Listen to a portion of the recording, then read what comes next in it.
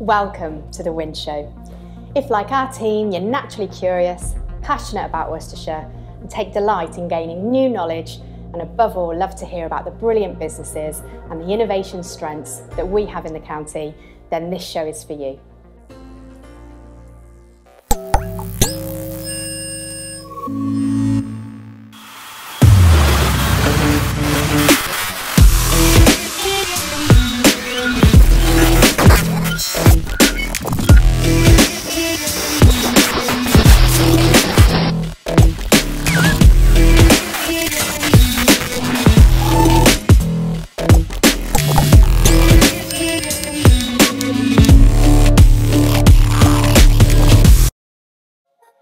Have you ever wondered who is behind the name? What their mindset is all about? What inspired them to get their invention to market? We were curious as well. So we decided to investigate and discover more about some of the names behind Worcestershire's fantastic innovations. From Edward Elgar, William Morris, Sir Rowland Hill, genius thrives in this county. They had a vision and the motivation to make their dreams and ideas a reality. So let's find out more about the people pioneering today. Simon, where are you? In light of the recent lockdown, we're having to do things a little bit differently, and so we're holding these interviews virtually. So today I'm joined by Sean Harris from RotaHub. Thank you, Simon. It's uh, great to be here. Thank you for inviting me. So, Sean, what is the innovation behind your business idea? So, the innovation behind what we do is based on my corporate experience. I had 23 years in the corporate world, and I was responsible for putting the right people in the right place at the right time for big companies. That took a lot of money and a lot of expertise. I've captured that expertise and I've created a system and a process to pass on to SMEs to make sure that they can tap into that market without the multi million pound budgets that the, the big boys have. In layman's terms, what does RotaHub do? So, RotaHub is the UK's first total workforce management solutions company. We bring together all elements of WFM and we bundle all this up into a package that we provide to clients as a subscription based service. So we do all the digital time and attendance, we do all the digital leave management, we do all the things like um, expenses collations and all the all the paperwork that you generally have lots of people in the back office to do. We create automated systems and processes to actually bring all of that together in one place easily acceptable, secure, and in a digital environment, but we do all the work for you as well and make sure that we do everything for you as part of our subscription service. And what does this mean for Worcestershire? So I class Worcestershire as a hub because Worcestershire theoretically is the hub of the of the UK, whereas we can go anywhere from Worcestershire. Worcestershire is a lovely central place where the West Midlands is on our doorstep. We got the M5 on our doorsteps. We got the M42. We got the M1. We got the M6, and it's a cracking place to be um, in order to for all SMEs throughout the UK to take it to take advantage of what we do. But more for Worcestershire, Worcestershire itself is that people in Worcestershire, we've been working very closely with them in the last three years that we've been running, and we've been been checking what they actually want and designing and giving solutions for a Worcestershire market because this is the time that we've been able to spend quality time with those SMEs. And so, what is the positive impact so the positive impact of this is the teamwork, is the fact that we know we're experienced, we have over 50 years experience in what we do within the team that we've got, and we make sure that we pass that experience on to our clients. So with us and our clients working together as a team, then the end users and the end clients get the most professional system that they can get, making sure that we use the best technology and the best processes and systems that are available within the UK. And what has been gained from this? Well, we've been going about three years now, um, and one of the biggest things for three years is the collation of information.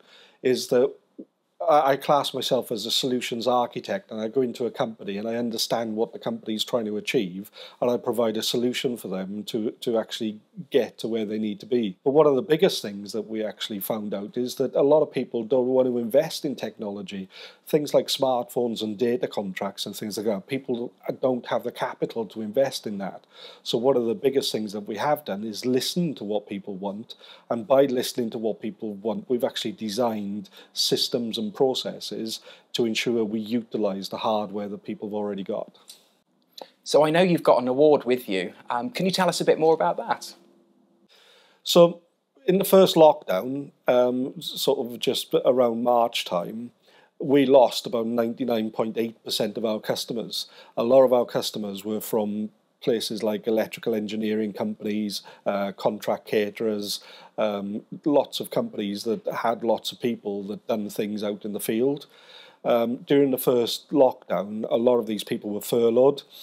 Um, and we we lost because we charge per person per month. Uh, we lost all of those subscriptions because the companies didn't have those people there anymore. So we went back to basics. As I said, we took lots of feedback um, during the three years that we've been trading. A lot of people said we didn't want to use smartphones, we didn't want to buy data contracts. So I said, well, what do people actually got? Every single UK adult has a mobile phone. Every single UK adult knows how to send a text message.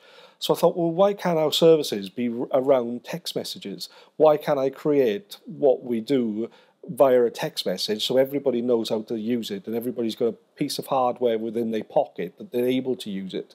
So we designed what they call text time and text toil, which is a digital timesheet and a digital lead management system. So we've just actually won um, the SME uh, UK Enterprise Awards 2020 for the most innovative digital workforce management solutions. And it's actually fantastic to win it for all the work that we've done during lockdown to make sure that we provided our customers what they actually wanted. What else have you created with this technology that's outside of the box?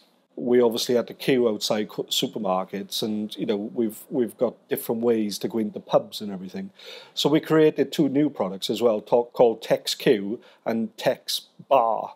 And basically, text queue is when you arrive at a supermarket in your car, once you safely parked your car in the car park and it's pouring down with rain, you actually text that you're in the car park. It actually sends a text to the person on the door. It tells you where you are in a virtual queue, so you can stay in the car until you're actually ready to go into the supermarket. And then the person on the door just presses uh, another button which activates another text, and it basically texts you to say you are now safe to go into the supermarket. So that was based on that technology. We've done the same for bars as well, text bar, when in a pub now, you have to leave your name and address and you have to leave your contact details for track and trace. So again, based on the text technology, if you think about most bars you go into, got a big list there, and everybody's writing on the list, that's not GDPR friendly, and that's not good for everybody. So ultimately, what we've done is create a text system where you just text your name to a telephone number that's unique to the bar, and basically, based on the same technology, we pick up your name, we pick up the time that you arrived at the premises, we picked up the date you arrived at the premises, the date that you left, and obviously your telephone number. So then when track and trace needs your details, we have it all stored safely and digitally that we'll only pass on to the authorities your data is safe. And what is the future technology that you're developing? Uh, we created Rota App, and Rota App utilizes all that technology and it sends all that information then via email rather than via text message to make it more cost efficient for the companies that do have the hardware that's required to power it. So if you have the hardware, we can provide a system. If you don't have the hardware, we can still provide a system. We have a solution for everyone, and we're proud of becoming solutions architects. And if people want to find out more, how can they? People can find out more easily than they think by just going to www.rotahub.co.uk or email in support at rotahub.net. Well, thank you, Sean, for sharing your story, and it's great to hear what's going on at RotaHub. Thank you for having me. It's been a it's been a pleasure to be here and uh, a pleasure to tell everybody about RotaHub.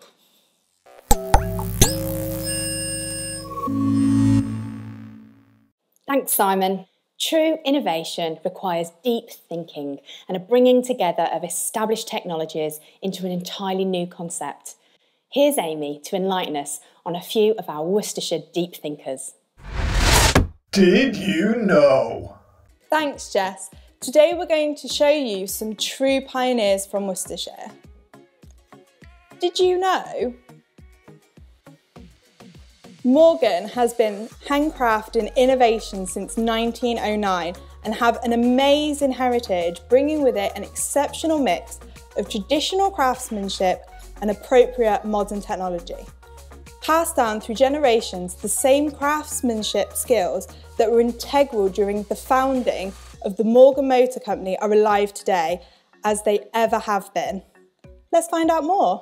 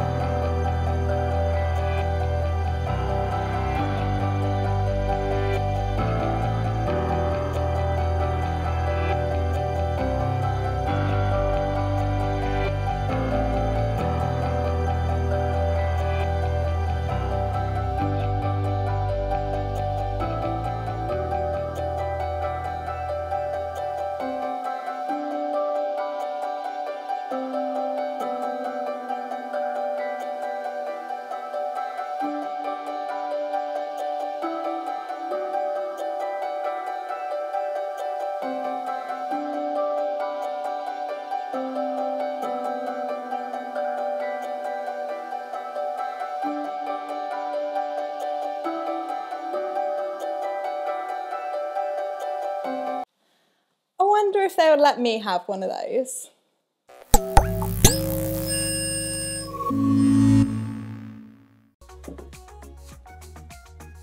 To this day, the recipe remains a closely guarded secret and only a few people know the exact ingredients, proportions and manufacturing process involved in the manufacturing of Lea & Perrins Worcestershire sauce.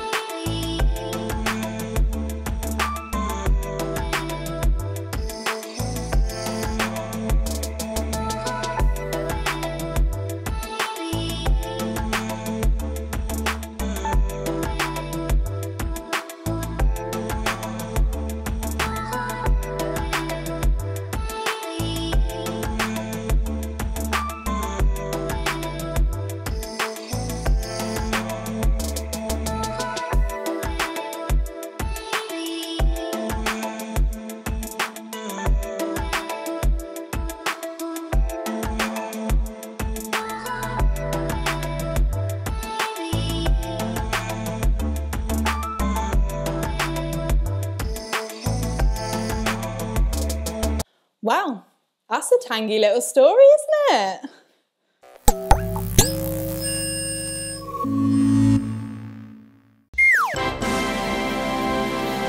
The Warriors has an amazing story to tell from a small local club to our very own Premiership Rugby Club, sports innovation and hospitality.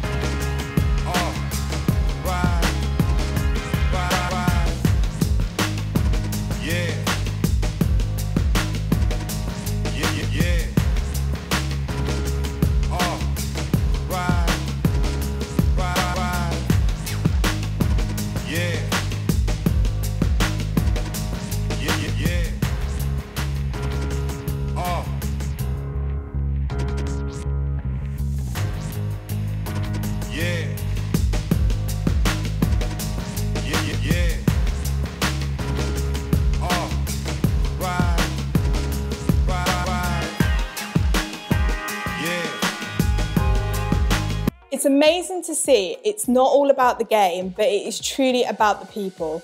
Not only the people involved, but the supporters that hold them in their hearts.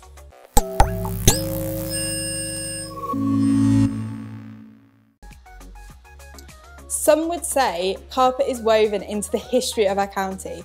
Discover over 300 years of Kidderminster's innovation within the carpet industry and hear of its origins as the Carpet Museum. Tell us more.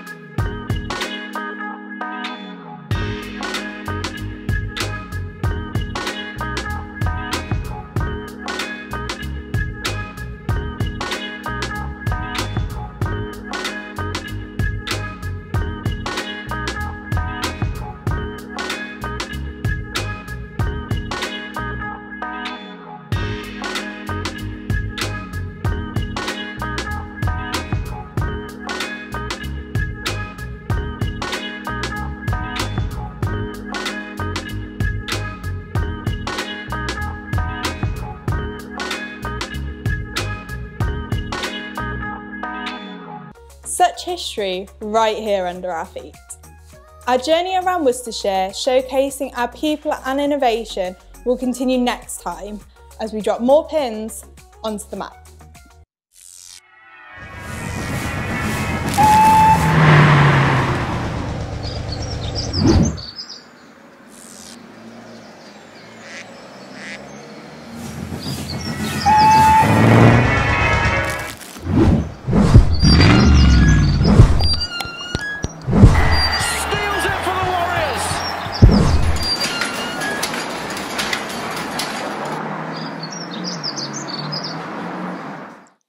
Taking time to think about all the amazing people and innovations in the county today and of the past should really make us all feel proud.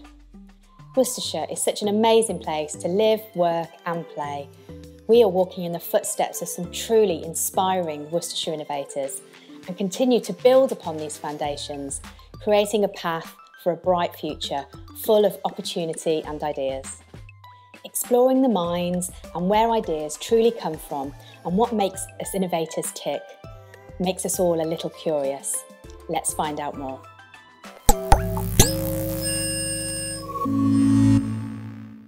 Hello, everyone. My name's Andy Flack, and I'm a um, performance psychologist in this kind of um, iteration, and also a psychotherapist. And I've been working with people for 20 years on um, helping them develop healthy, creative, and high performing mindsets.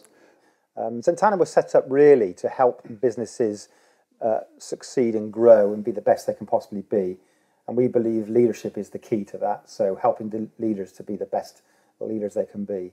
And in the modern world, leadership is quite difficult. So um, most of us have been through in our own lives challenging times where maybe we haven't had the confidence or the belief or we haven't been able to sort of do the things we wanted to do, but we've managed to get ourselves past that and go on and be quite successful in various aspects of what we've done.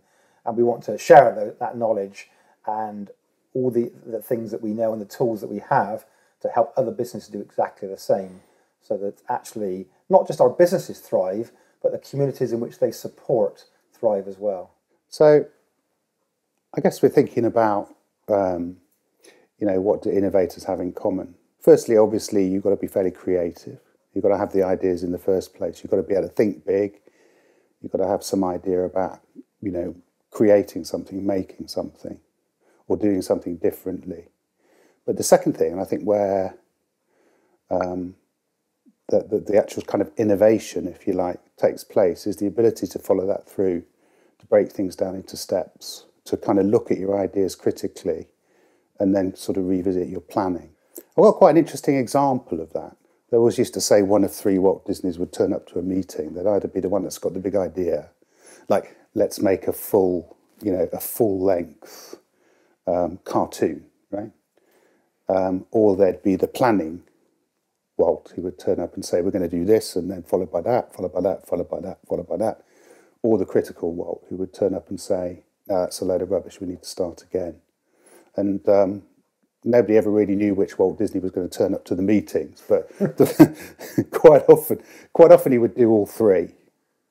And um, in, in, in, performance psychology, there, there, there's a kind of strategy that we've developed around that, which is to kind of deliberately separate your those areas of thinking into different actual physical locations sometimes.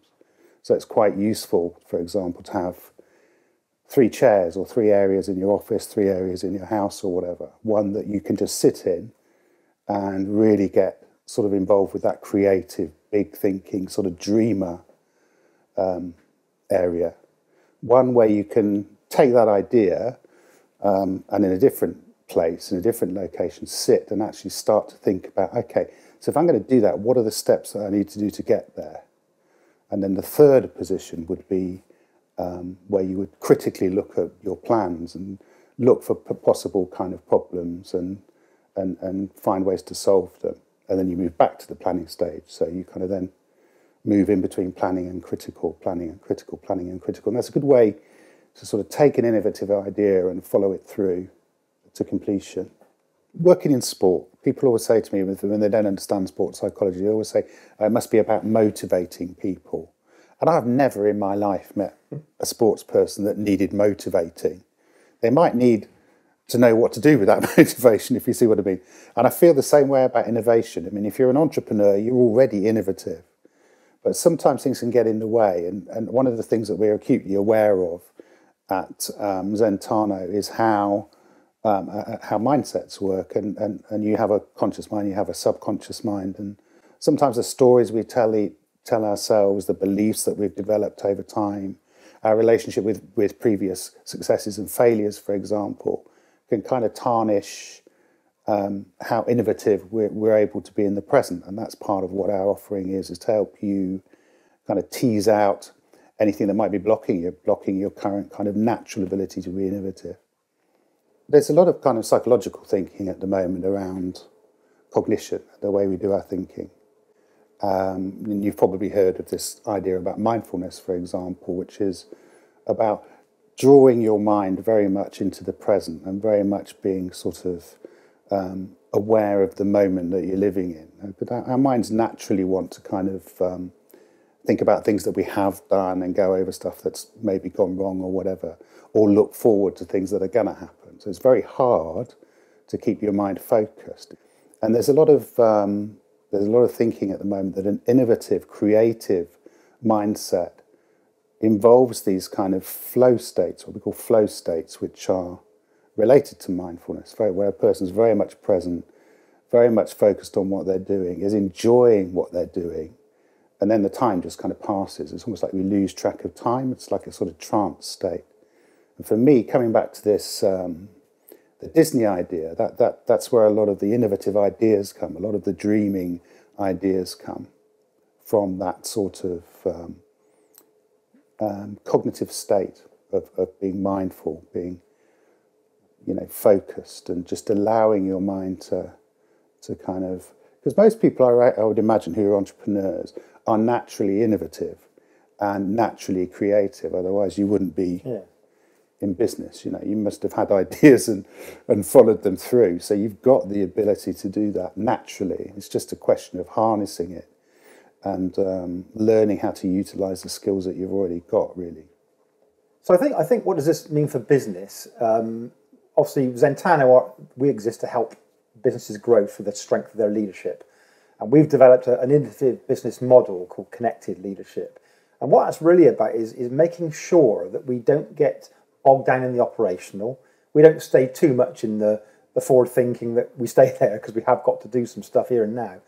But it's actually having that open, flexible, adaptive mindset that can, as Andy said, sit in these different seats and look at your business from these different perspectives and actually find the way forward.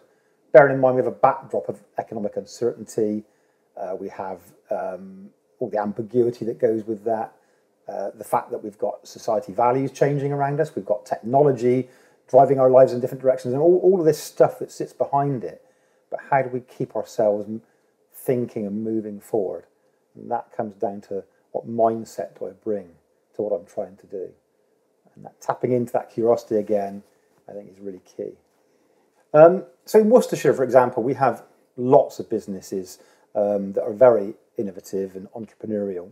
Um, and this is you know, characterized by people who just had this great idea and wanted to make it happen. And I see loads of those types of businesses that just have these people that want to make something happen and, and take us in new directions and make our lives better. And I think Worcestershire seems to be a place where that happens naturally.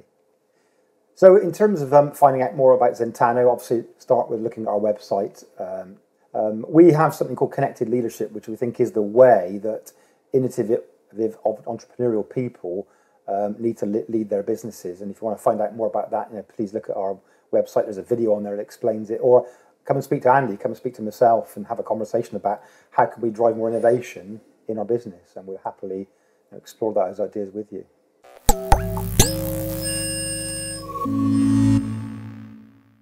Bursting, full of talent and innovative deliciousness. Worcestershire really does have a lot to be proud of, and continued knowledge and learning about our county's history truly keeps it alive and inspiring for future generations. Who knows who already walks amongst us? We've heard from some talented and gifted people behind the name, and I don't know about you, but hearing their stories makes me want to shout from the rooftops about Worcestershire. Next time, discover even more about innovation in Worcestershire as our journey continues through our fantastic county. Don't forget, we're here to support you on your own journey. So check out our website to find out all the support that's available to you. Remember, great things happen when great people get together.